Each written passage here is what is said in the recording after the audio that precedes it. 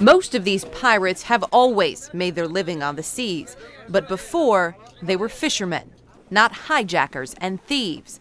In a country with no real government and intense poverty, it isn't hard to see how they're adding to the ranks. We work together and our ranks grow because there is more hunger and more skills. That is what causes more people to join piracy. Piracy is growing faster, but it is not something that is lessening. The world cannot do anything about it. In the past year, the pirates have collected an estimated $150 million in ransoms.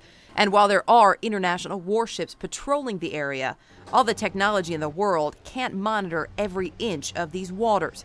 And the pirates know it. Tactically, they're very good.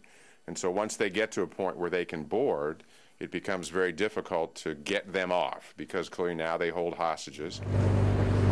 Coalition forces won't board a hijacked ship for fear of harming the hostages. This map, maintained by the International Maritime Bureau, shows every pirate attack, and there have been more than 90 this year. More than 35 of them successful hijackings. And in just the past week, at least five incidents in the Gulf of Aden, with 28 people taken hostage. So, how do the pirates, often traveling in scrappy looking boats no bigger than a car, manage to overpower some of the biggest ships at sea? Weapons including RPGs, which could blow up a tanker. And even if ships have security guards, they're often unarmed. The International Maritime Organization strongly discourages weapons on board merchant ships.